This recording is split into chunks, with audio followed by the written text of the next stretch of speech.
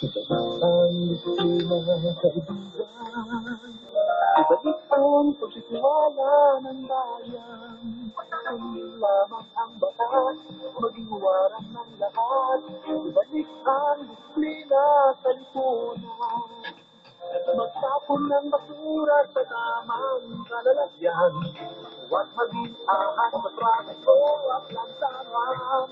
Inis lang gobyerno, ano man ay iwasan na.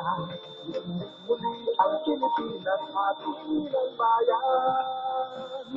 Ibalik ang sila kaibigan Ibalik ang pagtiwala ng bayan. Tayo ay magmahalan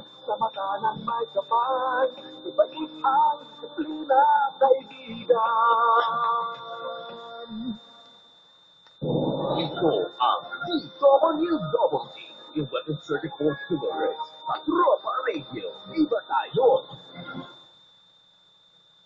Alright, uh, tuloy po kami sa part 2 ng uh, Kalusugan, Kabuhayan at iba pa. Uh, dito sa DWWD Radio with Rolly Cannon here. Uh, 12 to 1 in the afternoon, kasama ko si Pastor Roy Carpena. Ah, uh, Ro, uh, Pastor Roy, ituloy natin na napaka-interesting ang ating uh, discussion. Ang napag-uusapan natin, di ba yung antidote? Yes, Ano, yes. kung ayaw nilang ibigay ang antidote, kaya naman ang katawan natin na mag-create ng antidote. Kaya ng katawan natin na mag-create Ng ng antidote. antidote by itself. by itself. Okay. Pero kailangan mong i-feed ang katawan mo ng tamang pagkain at miner at ah, apat lamang ang kailangan natin sa Okay, katawan. kasi sa Department of Health, na, na, na, na bago ka mag-proceed, uh, Pastor, Yes.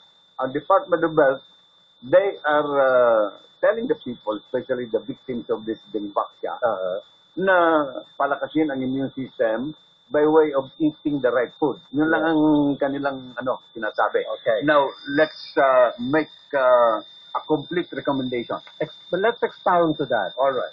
Biblically, Bible is the only source of pure and concrete truth.